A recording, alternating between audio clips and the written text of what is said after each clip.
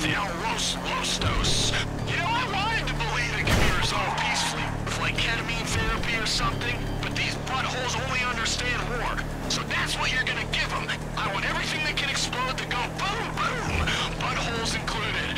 Hey, since we're heading to the fishery, it's always smart to deal with their reinforcements first. That's tactics, fresh meat. Gotta be two steps ahead and fully unzipped at all times.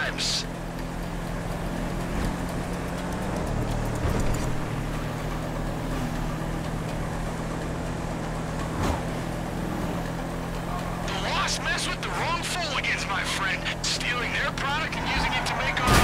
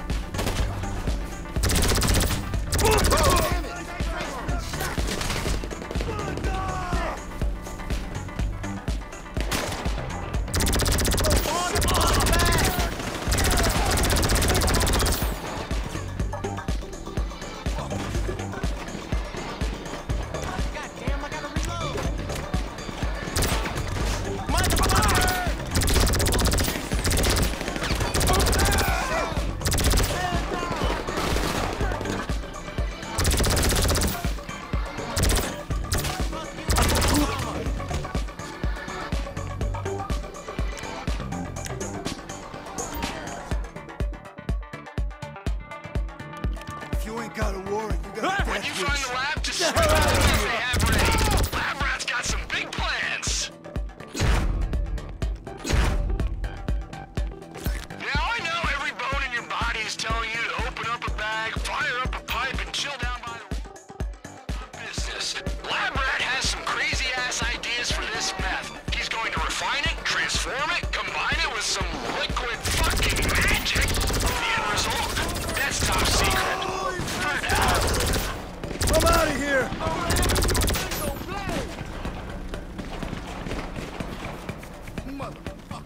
need some more ammo! Brother, take cover! Oh. You ain't going nowhere.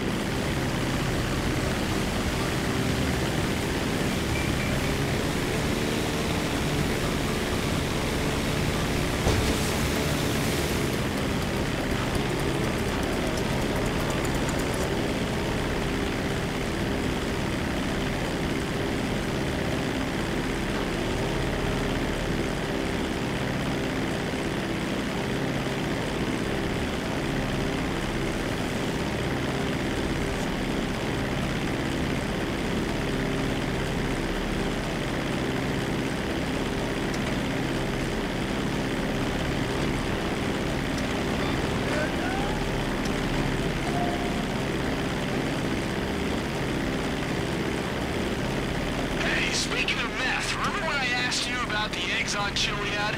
One day we should fly up there and take a look. I mean, I never seen nothing, but you read enough shit on the web, there's gotta be something there. On this timeline or the next one, my friend.